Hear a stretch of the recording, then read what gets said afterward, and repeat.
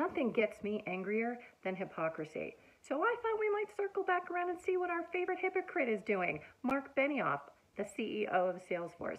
You remember, this is the company that's all about Ohana, family, taking care of one another. Marc Benioff is now on a self love PR tour with one of his favorite pet executives, and they're talking all about Ohana again and how important it is to the culture of their company. First of all, did he forget that we saw the memo that says, you know, screw culture?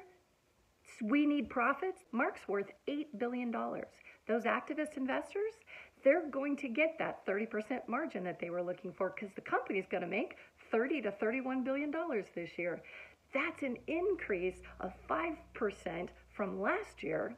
In that $120 million they're paying each year to their C suite executives, how many of them had to take a significant pay cut? Because I can't stop thinking about all those thousands of families that lost their jobs last year to a man who's worth $8 billion and for activist investors that wanted 5% more profit.